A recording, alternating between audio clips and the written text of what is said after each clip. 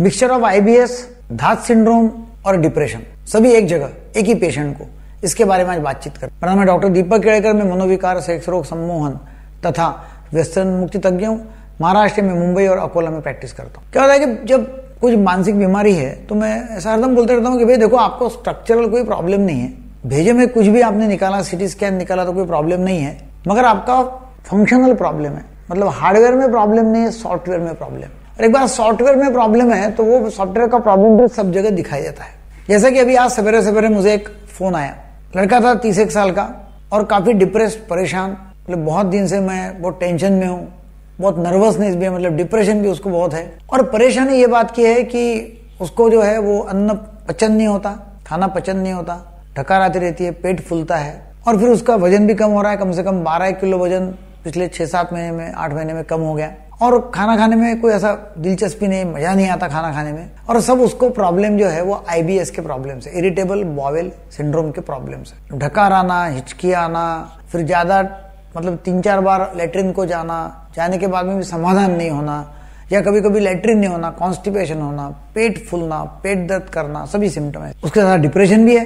फिर मैंने उसको पूछा डिप्रेशन चालू हो गया पहले कि पहले पचन संस्था के प्रॉब्लम चालू हो गए। बोले, नहीं याद नहीं आता, दोनों साथ साथ चालू हो गए। और फिर तीसरा उसको ये हो रहा है कि ये चिंता करके कि भाई ये क्या हो रहा, क्या हो रहा, उसमें क्या हो गया, उसको अभी थर्टी ईयर्स की उम्र है, शादी हुई नहीं है तो उसको धात जाता है मतलब धातु जाता है या सीमेंट जाता है। मतलब लेटरिन करने के समय जाएगा, फिर पेशाब करने के पहले जाएगा, या पेशाब करने के बाद में जाएगा, ऐसा चिकट पानी जाएगा, या फिर लेटरिन ज़ोर से किया तो जाएगा, या फिर कोई लड़की को फ़ोन करता है तो उस समय वो पानी बाहर निकलेगा। तो ऐसे उसको चिंता है कि वो धातु जो है वो पतला हो गया। अब वो पतला हो गया, ऐसा बोला कि धातु पतला हो गया। और अभी मैं आदमी में नहीं रहा, मुझे, मैं शादी करूँगा तो कैसा होगा? मेरे बच्चे नहीं होंगे। अरे भाई पतला हो गया तो फिर आपको किसने बताया कि पतला है ये?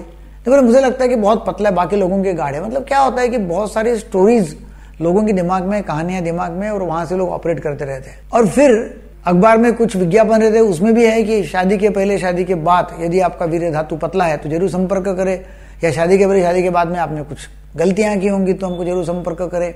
हमारे पास में मशीन है, गोलियाँ हैं, घोड़े के चित्र वाली दवाई हैं, या बैल की चित्र वाली दवाई है, और फिर उसमें वो जाता है और गड़बड़ हो जाती है। मैंने उसको कहा, देखो भाई, गाढ़ा और पतले का कोई सवाल नहीं है।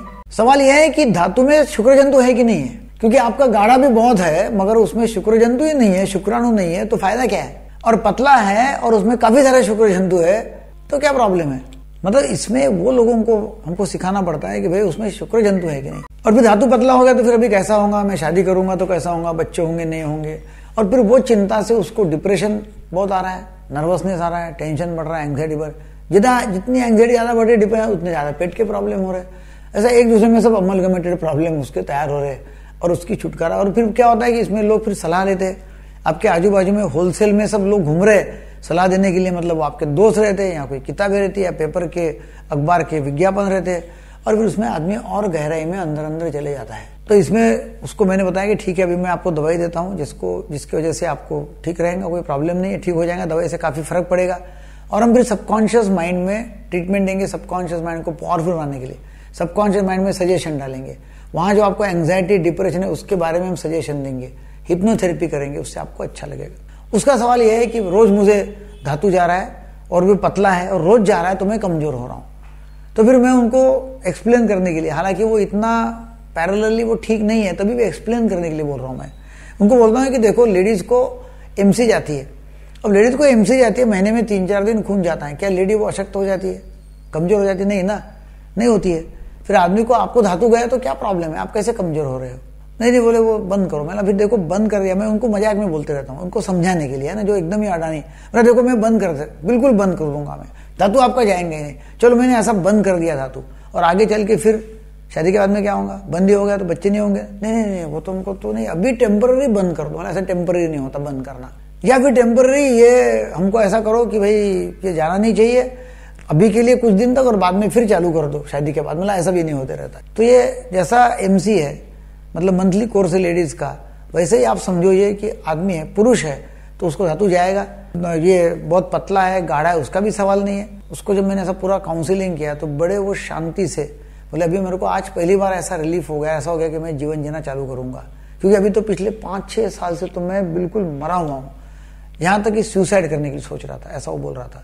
तो ये लोगों को एजुकेशन होना ज़रूरी है। आप ये वीडियो ज़रूर लोगों को शेयर करो ताकि लोगों का एजुकेशन हो जाएगा। और हमारा जो मिशन है, संकल्प है कि सबके लिए मानसिक स्वास्थ्य और व्यसन मुक्त भारत, इसमें आप भी हमारे पार्टनर हो जाओगे। Thank you very much